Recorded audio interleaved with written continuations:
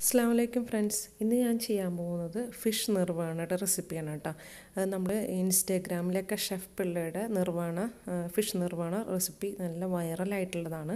അപ്പോൾ ആ ഒരു റെസിപ്പിയാണ് ഞാൻ ഇന്നിവിടെ ചെയ്യുന്നത് കേട്ടോ. ഞാൻ ഇന്ന് നെയ്മീൻ വെച്ചിട്ടാണ് അത് ചെയ്യുന്നത്. അപ്പോൾ വളരെ ടേസ്റ്റ് ആയിട്ടുള്ളൊരു ഫിഷ് നിർവാണ റെസിപ്പിയാണ്. അടിപൊളിയാണ് വളരെ സിമ്പിളാണ് ഇത് ഉണ്ടാക്കാൻ വേണ്ടിയിട്ട്. അപ്പോൾ ഇതൊന്ന് എങ്ങനെ ഉണ്ടാക്കുന്നത് നോക്കാം. അതിന് വേണ്ടി രണ്ട് കഷ്ണം നെയ്മീനാണ് ഞാൻ എടുത്തിട്ടുള്ളത് കേട്ടോ ഇതുപോലത്തെ. അപ്പോൾ ഇതിന് വേണ്ടിയിട്ട് അര ടീസ്പൂൺ മഞ്ഞൾപ്പൊടി പിന്നെ വേണ്ടത് കാശ്മീരി ചില്ലി പൗഡർ. അപ്പോൾ നല്ലൊരു കളറും കിട്ടും എരിവും കുറവായിരിക്കും. ഒരു ഒന്നര ടീസ്പൂൺ കാശ്മീരി ചില്ലി പൗഡർ എടുക്കുന്നുണ്ട്. പിന്നെ എരിവുള്ള മുളക് പൊടി ഒന്നര ടീസ്പൂൺ ചേർക്കുന്നുണ്ട് കേട്ടോ. അപ്പോൾ നമ്മളടുത്ത് കാശ്മീരി ചില്ലി ഇല്ലെങ്കിൽ അതിനനുസരിച്ച് മുളക് പൊടിയുടെ അളവ് കുറച്ചുകൂടി കൂട്ടിയെടുത്താൽ മതി. പിന്നെ പെപ്പർ പൗഡർ അര ടീസ്പൂൺ എടുക്കുന്നുണ്ട്. ആവശ്യത്തിനുള്ള ഉപ്പിട്ട് കൊടുക്കുക. പിന്നെ വേണ്ടത് ഒരു ഹാഫ് ലെമൺ ഒരു ചെറിയ ഒരു ചെറിയ ലെമണിന്റെ പീസാണ്. അതൊന്ന് പിഴിഞ്ഞു കൊടുക്കുക. പിന്നെ കുറച്ച് കറിവേപ്പില. അതൊന്ന് നന്നായി ഒന്ന് കീറിയിട്ട് കൊടുക്കുന്നുണ്ട്. നന്നായി കൈവച്ച് നന്നായി ഒന്ന് കുഴച്ചിട്ട് ഈ ഫിഷിൽ തേച്ച് പിടിപ്പിക്കുക കേട്ടോ. അപ്പോൾ ഇത്രയേ ഉള്ളൂ ഇതിന്റെ ഒരു മസാലക്കുള്ള ഇൻഗ്രീഡിയൻസ് എന്ന് പറയുന്നത്. ഇപ്പം ഇതിൽ കുറച്ച് ഭയങ്കര തിക്കായതുകൊണ്ട് കുറച്ച് വെള്ളം ലേശം വെള്ളം ഒഴിക്കുക. അധികം ആവേണ്ട ലൂസായി പോകണ്ട കേട്ടോ മസാല. കുറച്ച് വെള്ളം ഒഴിച്ച് നമ്മൾ ഇതുപോലെ നന്നായി മീനിൽ തേച്ച് പിടിപ്പിക്കുക. എന്നിട്ടൊരു ഹാഫ് ആൻ അവർ ഒന്നും റെസ്റ്റ് ചെയ്യാൻ വേണ്ടിയിട്ട് ഫ്രിഡ്ജിൽ വെക്കുക അപ്പോൾ അതിന് പിന്നെ അതിന് ശേഷം നമുക്കൊരു ഒരു ഇഞ്ച് നീളത്തുള്ള ഇഞ്ചി മൂന്ന് പച്ചമുളക് കുറച്ച് കറിവേപ്പില കുറച്ച് പെപ്പർ പൗഡർ ഞാനിപ്പോൾ വെളിച്ചെണ്ണ ചട്ടിയിൽ ഒഴിക്കുന്നുണ്ട്.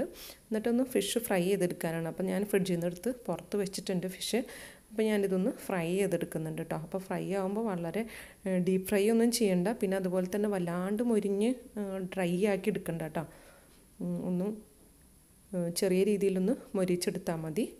ഇതുപോലെ ബാക്കിയുള്ള മസാലയൊക്കെ അതിന്റെ മുകളിലൊന്ന് തേച്ച് കൊടുക്കുക. എന്നിട്ട് നമുക്ക് ഒന്ന് തിരിച്ചിട്ടിട്ടൊന്ന് രണ്ട് സൈഡും ഒന്ന് തിരിച്ചിട്ട് മുരിച്ചെടുക്കുക കേട്ടോ.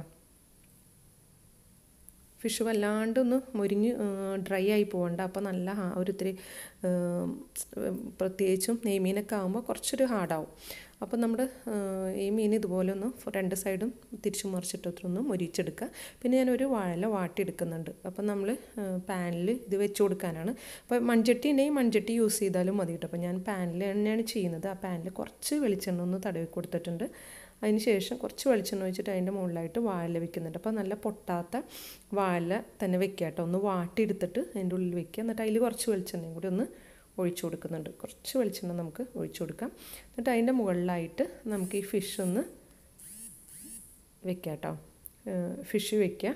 ഫിഷ് വെച്ചതിന് ശേഷം നമുക്ക് നല്ല കട്ടിയുള്ള തേങ്ങാപ്പാൽ ഒരു കപ്പ് തേങ്ങാപ്പാലാണ്. അത് നമ്മൾ കോക്കനട്ട് മിൽക്ക് പൗഡർ ഇല്ലേ അത് തന്നെ യൂസ് ചെയ്തിട്ട് നല്ല തിക്കായിട്ടുള്ള ഒരു കപ്പ് ഇളം ചൂടുവെള്ളം എടുക്കുക.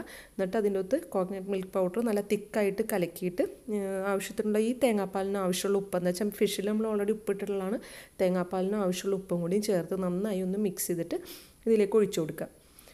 നന്നായി ഇതിലേക്ക് ഒഴിച്ചിട്ട് നമുക്ക് നന്നായി ഒന്ന് തിളപ്പിച്ച് കുറുക്കിയെടുക്കണം കേട്ടോ. അപ്പം നല്ല അതുകൊണ്ട് തന്നെ നമ്മൾ തേങ്ങാപ്പാൽ ഒരു മിൽക്ക് പൗഡർ തന്നെ എടുക്കുന്നത് കേട്ടോ. നമ്മുടെ ഫ്രഷ് മിൽക്ക് ആണെന്നുണ്ടെങ്കിൽ എന്താണെന്ന് വെച്ചാൽ ഇത് നല്ലോണം തിളയ്ക്കുമ്പോൾ ഇപ്പോൾ കട്ടിയിൽ തേങ്ങാപ്പാൽ എടുത്ത് തിളയ്ക്കുമ്പോൾ പിരിഞ്ഞു പോകും അതുകൊണ്ടാണ് നമ്മൾ കോക്കനട്ട് മിൽക്ക് പൗഡർ എടുക്കുന്നത്.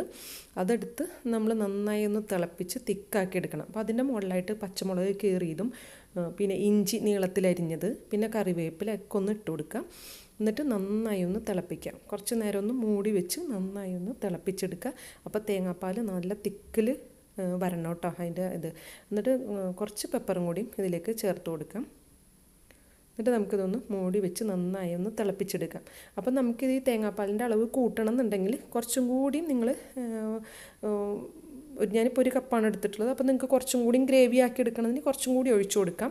പിന്നെ ഇത് നല്ല തിക്കായിട്ട് നല്ല കുറുകിയ രൂപത്തിൽ വേണം. അപ്പോൾ നല്ല അപ്പത്തിന്റെ കൂടെയും ചോറിന്റെ കൂടെയൊക്കെ കഴിക്കാൻ നല്ല ടേസ്റ്റ് ആട്ടോ.